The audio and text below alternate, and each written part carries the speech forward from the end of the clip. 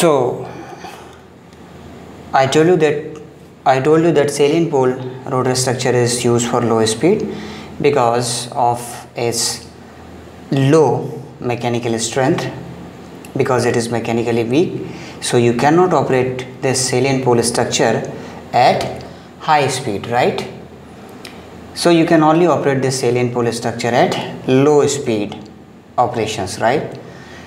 So i told you that if the speed is low right then number of poles will be high. That means if you want to accommodate large number of poles on the same periphery uh, on this periphery then the diameter will be large right? If you want to fit large number of poles on the periphery then definitely diameter will be large. If the diameter is large that means moment of inertia is, large. That means action uh, to balance this large moment, moment of inertia the axial length it must be small right as compared to cylindrical rotor right as compared to cylindrical rotor right? Conversely you can explain this cylindrical rotor. See here cylindrical rotor. Cylindrical rotor means this whole complete structure right? This is cylindrical. So for this cylindrical structure it is it is mechanically strong right? That means this whole structure it is mechanically strong right mechanically strong that means you can operate this cylindrical rotor at high at uh, even at high speed right? So if the speed is high right then can you tell me what are the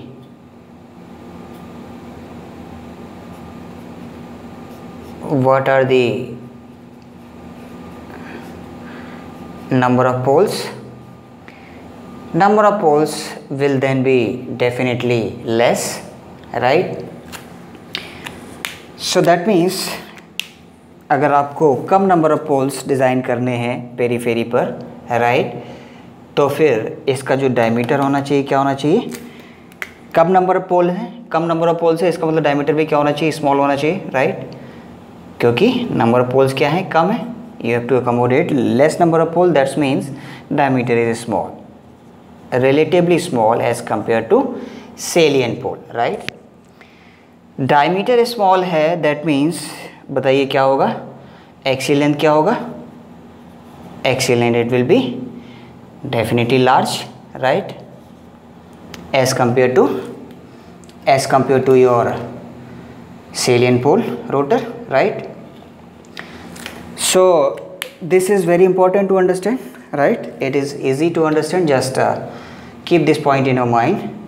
So salient pole rotor structure it is it is having less iron part.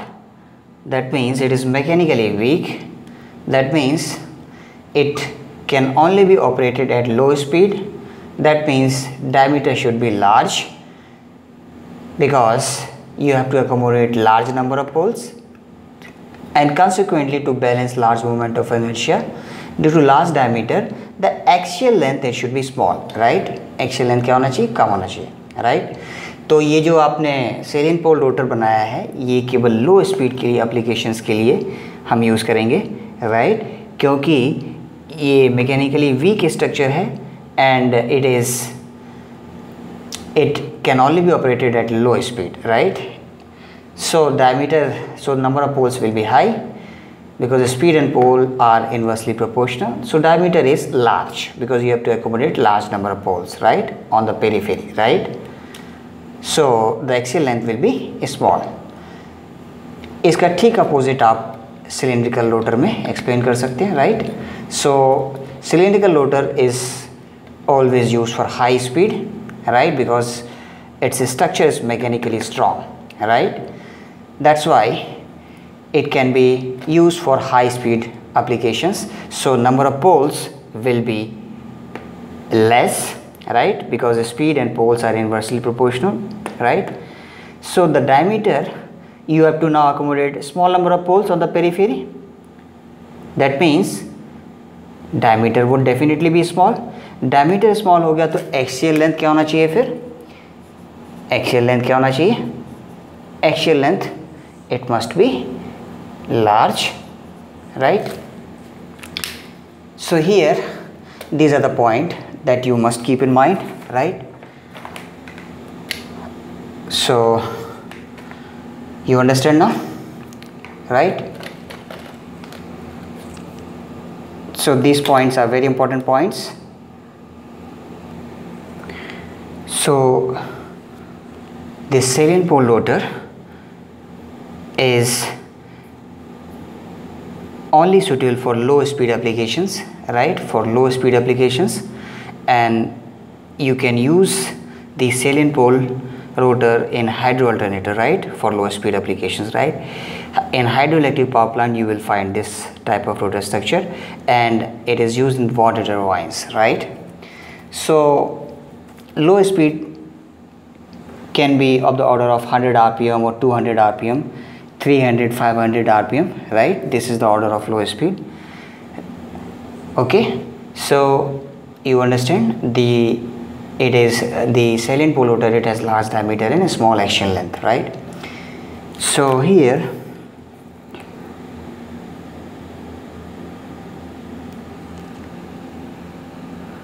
so now you have understood all the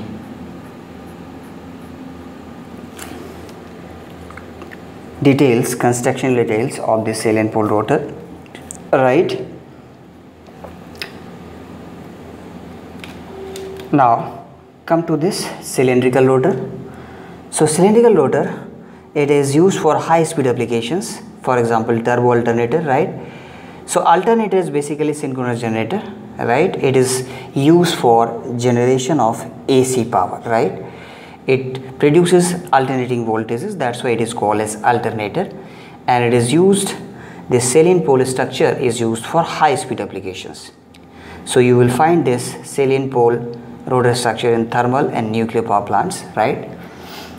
So conversely you can with the same logic you can say, uh, say that in cylindrical pole you have a small diameter and large axial length all right? Now the most important thing that we are going to discuss now see here. Here just analyze the air gap. The air gap in salient pole rotor structure is not uniform right?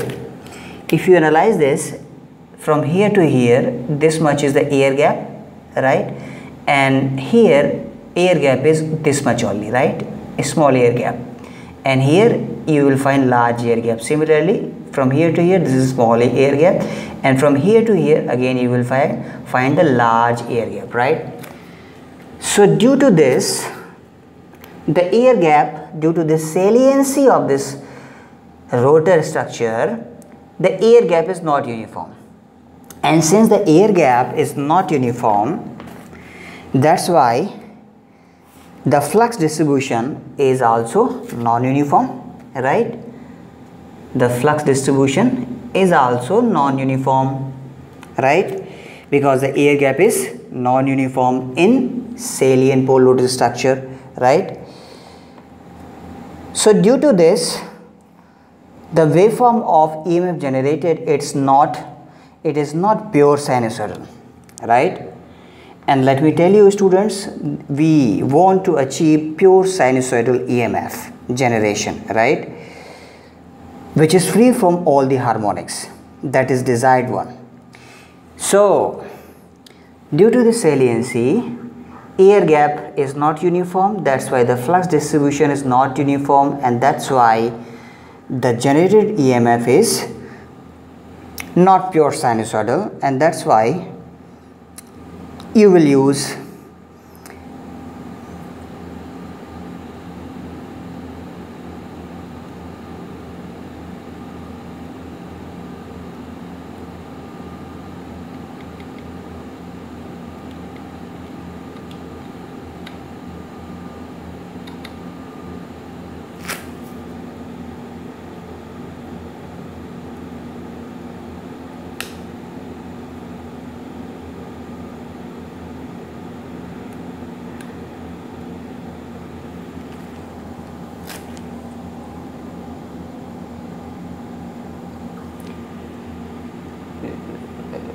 that's why you will use is it is it audible? Uh, that's why it is uh, you will use adequate means to make this EMF pure sinusoidal right?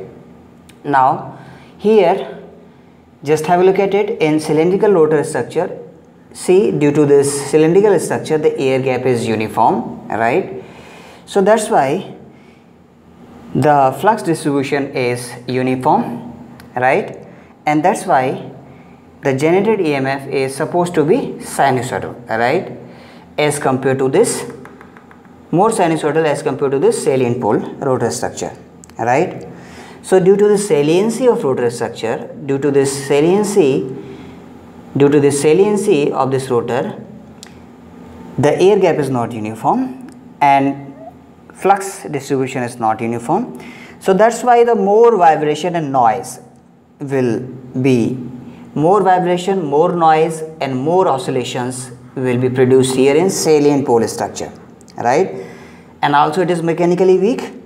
So more vibration, more oscillation, noise, etc. all will be there in this here in salient pole structure. That's why you will use damper windings, right? Damper windings will be used in salient pole type rotor structure to damp out these oscillation, to kill these unwanted oscillations, noise and vibrations in salient pole, right? While this type of need is not there in cylindrical rotor structure, right? Because the it is rotor structure is comparatively uh, rotor structure is it is completely cylindrical and that's why the air gap is uniform flux distribution is uniform emf generation emf generation is supposed to be sinusoidal right so these are the important points which we have discussed in cylindrical rotor and salient pole rotor structure. So this completes the construction details, right? Now the important thing is that why do we use armature windings on a stator in synchronous machine? It's an important question. In exam it will be asked right in 6 marks, this question will be asked right? Question ये है कि armature winding हमेशा stator पर क्यों आप provide करते हैं सिंक्रोस machine में राइट? तो हम ऐसा ऐसा इसलिए करते हैं क्योंकि ऐसा करने से हमें ये कुछ एडवांटेजेस मिलते हैं right number one to avoid message centrifugal forces and mechanical imbalance right so armature windings are basically bulky right they are heavier so that's why अगर कोई बल्कि एलिमेंट है तो उसको आप कहाँ रखना पसंद करेंगे स्टेशनरी एलिमेंट स्टेटर पे या फिर रोटेटिंग एलिमेंट पे answer is definitely you will like you will you will prefer to place this bulky armature winding only on a stationary element that is a stator so this is the one reason why do we place armature winding on a stator तो पहला reason तो आप सम, आप समझ गए। अगर कोई बल्कि एलिमेंट है तो उसको आप स्टेशनरी एलिमेंट स्टेशनरी स्टेटर पर आप उसको प्लेस करेंगे। ऐसा करने से आप मैसिव सेंट्रीफ्यूगल फोर्सेस अवॉइड कर सकते हैं राइट मैकेनिकल इम्बेलेंस भी आप अवॉइड कर सकते हैं राइट दूसरी चीज़ ये है कि स्टेटर वाइंडिंग स्टेटर पर आप आर्मेचर वाइंडिंग देंगे तो इसे इंसुलेट करना उसको आसान हो जाएगा। क्योंकि आर्मेचर वाइंडिंग क्या है? ये बाहर की तरफ़ लगी होती है right outer structure outer frame right तो फिर यहाँ पर उसको इंसुलेट करना आसान हो जाएगा। And by the same logic cooling will be easier if you provide armature winding on rotor अगर आप उसको अंदर की वाइंडिंग में डाल देंगे, यानी आर्मेचर वाइंडिंग को रोटर पे डाल देंगे तो क्या हो जाएगा? तो फिर डेफिनेटली उसका कूलिंग और इंसुलेशन बड़ा ही मुश्किल हो जाएगा राइट इसीलिए हम आर्मेचर वाइंडिंग को कहाँ प्लेस करते हैं? स्टेटर पर, जो बाहर की तरफ़ है, उस पर उस पर आप प्लेस करते हैं राइट इससे इंसुलेशन भी आसान हो जाता है कूलिंग भी आपका आसान हो जाता है राइट नेक्स्ट पॉइंट ये है कि अगर आप आर्मेचर वाइंडिंग स्टेटर पर रखते हैं तो इससे सबसे बड़ा एडवांटेज आपको मिलता है कि दो स्लिप रिंग से ही आप काम चला सकते हैं right you will only require only two slip rings right so here, next point is, if we place armature winding on rotor, then you will require three slip ring, definitely. then the cost will increase right so इसलिए armature winding को आप हमेशा stator पर ही रखेंगे due to this this advantages right पहला to avoid mechanical massive centrifugal forces and mechanical imbalance second is insulation is easier if you place armature winding on stator Four, third is cooling is easier fourth is only two slip rings are required if you place armature winding on stator. Next is if you place armature winding on rotor then three slip, slip rings will be required which is costly right? All right. So these are the some of the important points. Okay. So thank you very much. Thanks for watching